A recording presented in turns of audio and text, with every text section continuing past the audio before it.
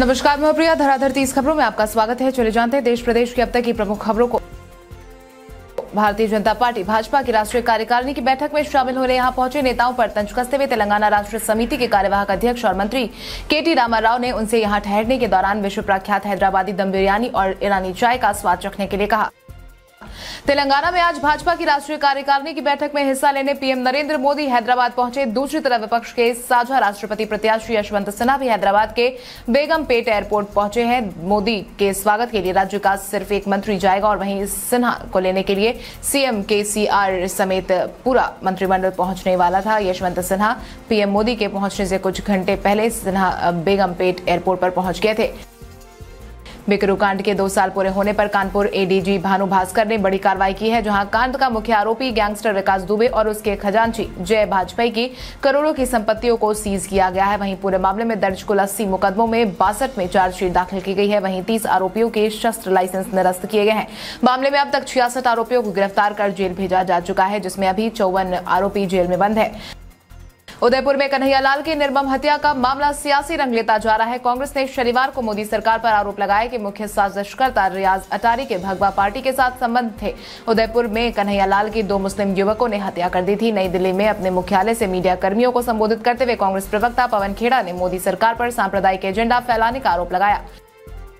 भारत में कोविड 19 के सत्रह हज़ार बानवे नए मामले सामने आने से संक्रमण के कुल मामलों की संख्या चार करोड़ चौतीस लाख छियासी हज़ार तीन सौ छब्बीस हो गई है। वहीं उपचाराधीन मरीजों की संख्या बढ़कर एक लाख नौ हज़ार पाँच सौ अड़सठ पर पहुँच गई है। केंद्रीय स्वास्थ्य मंत्रालय के शनिवार सुबह आठ बजे तक अद्यतन आंकड़ों के अनुसार उनतीस मरीजों की जान गंवाने से मृतकों की संख्या पाँच लाख पच्चीस हज़ार एक सौ अड़सठ पर पहुँच गई है।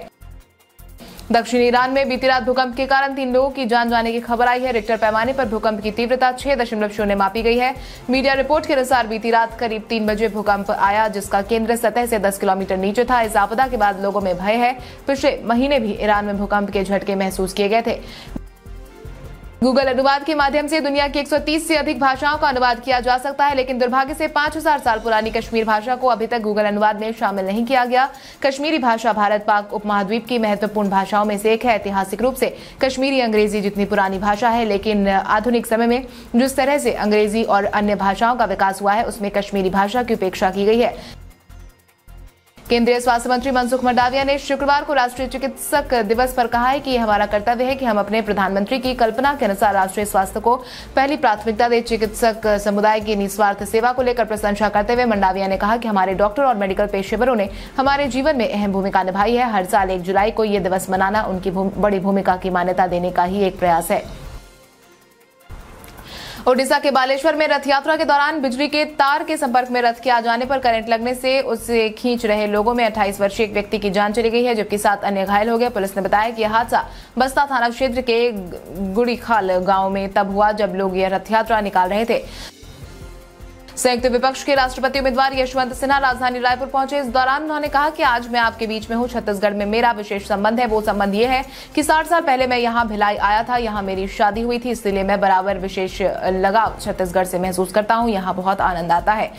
फैक्ट चेक वेबसाइट और न्यूज़ के सह संस्थापक मोहम्मद जुबैर की मुश्किलें बढ़ती जा रही है। दिल्ली पुलिस ने उन्हें आज पटियाला हाउस कोर्ट में पेश किया। उनकी जमानत याचिका पर सुनवाई हुई है। इस दौरान पुलिस ने दावा किया है कि जुबैर को पाकिस्तान और सीरिया से विदेशी चंदा मिला है।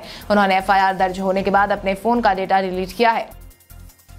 हैदराबाद हवाई अड्डे से राजधानी के बीचों बीच का सफ़र एक नए आने वाले को भी बताएगा कि यहाँ राजनीतिक युद्ध चल रहा है और भाजपा का अगला निशाना तेलंगाना है। दो जुलाई से लंबे अंतराल के बाद हैदराबाद में अपनी दो दिवसीय राष्ट्रीय कार्यकारिणी की बैठक आयोजित करने का भाजपा के निर्णय को चंद्रशेखर राव के नेतृत्व वाली टीआरएस के खिलाफ तेलंगाना में एक लड़ाई की घोषणा है। केंद्र सरकार अनुसूचित जाति और अनुसूचित जनजाति के सदस्यों को प्रमोशन में आरक्षण देने सहित आठ नवासी अधिकारियों को प्रमोट करने के लिए तैयार है। इस मामले में परिचित अधिकारियों ने शुक्रवार को इसकी जानकारी दी। प्रमोशन में से कुल सत्रह पद प्रमोशन में आरक्षण के अंतर्गत नहीं आते हैं, जबकि पाँच अनारक्षित है। मराठा और अन्य पिछड़ा वर्ग समुदाय के लिए आरक्षण बहाल करने को लेकर सरकार की वित्तीय स्थिति को संभालने और महाराष्ट्र के नए मुख्यमंत्री एकनाथ शिंदे के लिए चुनौतियों की कोई कमी नहीं है। हालाँकि अंठावन वर्षीय शिंदे की असली चुनौती शक्तिशाली सहयोगी के साथ सरकार चलाना होगी, जिसके विधानसभा के फर्श से लेकर प्रमुख विभागों पर नियंत्रण रखने की संभावना है।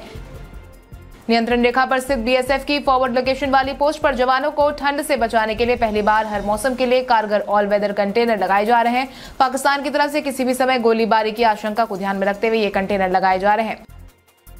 18 साल बाद हैदराबाद में 2 और 3 जुलाई को राष्ट्रीय कार्यकारिणी की बैठक करने जा रही भाजपा का नया मिशन तेलंगाना तो है ही, लेकिन यहाँ से वो समूचे दक्षिण भारत को नया राजनीतिक संदेश देगी। महाराष्ट्र में हाल ही में हुए बड़े राजनीतिक बदलाव का असर भी कार्यकारिणी में दिखेगा। इससे पार्टी अपनी विचारधारा और सबको साथ लेकर चलने का आह्वान भी नए सिरे से करती देखेगी।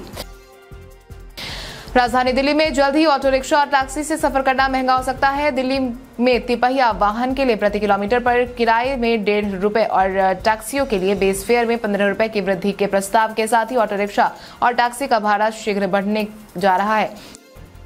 दिल्ली नगर निगम ने सिंगल यूज़ प्लास्टिक पर प्रतिबंध लागू होने के बीच शुक्रवार को करीब 700 किलोग्राम प्लास्टिक उत्पाद जब्त करने के साथ ही 350 से अधिक लोगों के चालान काटने का आधिकारिक बयान के मुताबिक दिल्ली नगर निगम एस प्रतिबंध का अनुपालन सुनिश्चित करने के संबंध में सभी आवश्यक कदम उठा रहा है और लोगों को सिंगल यूज़ प्लास्टिक का उपयोग नहीं करने को लेकर जागरूकता फैला रहा है।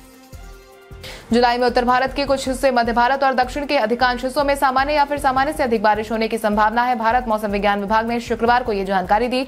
जुलाई के दौरान पूर्वी, पूर्वोत्तर भारत के अधिकांश हिस्सों और पूर्व मध्य भारत से सटे क्षेत्रों और पश्चिम दक्षिण प्रायद्वीप भारत के कुछ हिस्सों में सामान्य या फिर सामान्य से कम बारिश हो सकती है। मणिपुर के नोनी ज़िले में एक रेलवे निर्माण स्थल पर हुए भूस्खलन की चपेट में आकर जान गंवाने वालों की संख्या शुक्रवार को बढ़कर दस हो गई है। शुक्रवार तड़के मलबे में दो और शव बरामद किए गए। अधिकारियों ने यह जानकारी दी। भूस्खलन टुपुल यार्ड रेलवे निर्माण शिविर में बुधवार रात हुआ था। नोकिया ने अपने नए जी इलेवन प्लस को विश्व स्तर पर लॉन्च कर दिया है। ये एक बजट फ्रेंडली स्मार्टफ़ोन होने वाला है। बजट में होने के बावजूद इस स्मार्टफ़ोन में कई ज़बरदस्त फीचर मिल जाते हैं और इन्हीं फीचर्स की बदौलत अब अपने रेंज में एक ज़बरदस्त चॉइस बनकर सामने आता है। नागपुरी अभिनेता और गायक विवेक नायक हमेशा ही अपने म्यूज़िक वीडियो को लेकर सुर्खियों में बने रहते हैं। अब उनका लेटेस्ट सॉन्ग दिल तोरे नाम रिलीज़ हो चुका है, जिसे फैंस बेहद पसंद कर रहे हैं। इस गाने में वो एक्ट्रेस अपराजिता रॉय, संग रोमांस करते नज़र आ रहे हैं। दोनों की केमिस्ट्री शानदार है। इस सॉन्ग को बनने में तकरीबन छह महीने का समय लगेगा। नेशनल टेस्टिंग एजेंसी एनटीए संयुक्त प्रवेश परीक्षा, मुख्य 2022 सत्र दो के लिए आवेदन करने का एक और मौका दिया गया है। इच्छुक उम्मीदवार जेईई मेन सत्र दो परीक्षा के लिए आधिकारिक JEE website JEE main dot NTA dot NIC dot in से जाकर आवेदन कर सकते हैं। पश्चिम बंगाल के वीरभूम ज़िले में भारी मात्रा में विस्फोटक मिलने से लोगों में हड़कंप मचा हुआ है। गुरुवार को स्पेशल टास्क फोर्स ने बीरभूम के मोहम्मद बाज़ार इलाके में एक गाड़ी समेत इक्यासी हज़ार डेटोनेटर जब्त किया है। इतनी बड़ी मात्रा में विस्फोटक मिलने के बाद लोगों में किसी बड़ी घटना की आशंका के मद्देनजर दहशत बना हुआ है। रेलवे आपके लिए खास पैकेज लेकर आया है। इसमें आपको श्रीनगर, सोनमर्ग, गुलमर्ग और फिर पहलगाम घूमने का मौका मिलेगा। आपको छह दिन कश्मीर की वादियों में घुमाया जाएगा। आप अगस्त महीने में बाहर घूमने का प्लान बना रहे हैं। तो ये एक अच्छा पैकेज है। आईआरसीटीसी ने ऑफिशियल ट्वीट में लिखा है कि रेलवे आपके लिए एयर टूर पैकेज लेकर आया है। श्रीनगर, सोनमर्ग, गुलमर्ग और पहलगाम घूमने का मौका मिलने वाला है। माइक्रोसॉफ्ट कंपनी के सह संस्थापक और अध्यक्ष बिल गेट्स ने 48 साल पुराना अपना resume social networking site LinkedIn पर शेयर किया है। रेज्यूमे को शेयर करते समय बिल गेट्स ने लिखा है कि चाहे आप हाल ही में स्नातक हो या फिर कॉलेज ड्रॉप आउट मुझे यकीन है कि आपका रेज्यूमे 48 साल पहले की तुलना में बहुत बेहतर दिखता है। इंग्लैंड के खिलाफ खेले जा रहे एसबेस्टन टेस्ट से पहले दिन टीम इंडिया सात विकेट के नुकसान पर तीन सौ अड़तीस रन बनाकर मज़बूत स्थिति में नज़र आ रही है। टीम इंडिया को स्थिति में पहुँचाने का श्रेय ऋषभ पंत को जाता है। जिन्होंने एक सौ ग्यारह गेंदों पर एक सौ छियालीस रन की पारी खेली। अपनी इस पारी में पंत ने बीस चौके और चार छक्के लगाए हैं। और इसके साथ ही पंत ने कई रिकॉर्ड अपने नाम किए। उन्होंने पूर्व कप्तान महेंद्र सिंह धोनी के रिकॉर्ड को भी तोड़ दिया है। कमेडियन कपिल शर्मा ने अपने इंस्टा अकाउंट पर एक वीडियो शेयर किया है जिसमें कपिल को फराटेदार इंग्लिश बोलते हुए देखा जा सकता है। वीडियो में कपिल कहते हैं भाई हम यहाँ घूमने आए थे आज कैनेडा डे है तो हमने सोचा कि ओपन जीप में हम बाहर जाते हैं। मैं आपको दिखाता हूँ कि यहाँ क्या हो रहा है। बारिश हो रही है और, और मेरी जिप अभी कुचल दी जाती। उदयपुर में टेलर कन्हैयालाल की हत्या के बाद सभी पार्टियों के बीच आरोप प्रत्यारोप की राजनीति शुरू हो गई है। हाल ही में भाजपा ने कांग्रेस सरकार पर तुष्टिकरण का आरोप लगाया है, जिस पर पलटवार करते हुए कांग्रेस प्रवक्ता पवन खेड़ा ने आज दिल्ली में एक प्रेस कॉन्फ्रेंस किया। इस कॉन्फ्रेंस में कांग्रेस प्रवक्ता पवन खेड़ा ने भाजपा पर जमकर निशाना साधा है। दिल्ली से जबलपुर जा रहे स्पाइस जेट के विमान की इमरजेंसी लैंडिंग कराई गई है। बताया गया है कि जब विमान ने उड़ान भरी तो फिर कुछ ही देर बाद विमान के अंदर काला धुआँ दिखाई देने लगा। धुआँ देखने के बाद सभी पैसेंजर पैनिक में आ गए और पायलट ने वापस मुड़कर दिल्ली में लैंड करने का फैसला किया। अभी यात्री सुरक्षित बताए जा रहे हैं। कल हमारे द्वारा पूछे गए सवाल का जवाब आप में से बहुत सारे यूज़र ने हमें कमेंट करके दिया था। उसके लिए आपका बहुत बहुत धन्यवाद। आप में से यूज़र ने हमारे सवालों का सही जवाब दिया है, उनके नाम है अरुण कुमार नुन्नू कुमार, धूम धराका कुश कुमार यादव, सुमन सौरभ, सुरेंद्र पंडित, वरुण सिंह, मुन्नी देवी, सोनू कुमार, विनय कुमार अखिलेश यादव, आप इसी तरह हमारे सवालों का जवाब देते रहे। हम हर दिन वीडियो के अंत में आपका नाम लेने की पूरी कोशिश करेंगे। तो चलिए बढ़ते हैं आज के सवाल की, और आज का सवाल कुछ इस प्रकार है। आपके अनुसार यात्रा के लिए सबसे आरामदायक सेवा कौन सी है? अपने जवाब में कॉमेंट करके ज़रूर बताएँ इसके साथ ही। आज के लिए बस इतना ही। देश प्रदेश की तमाम बड़ी खबरों से अपडेटेड रहने के लिए हमारे यूट्यूब चैनल को सब्सक्राइब करें और बेलाइकॉन दबाना ना भूलें। धन्यवाद।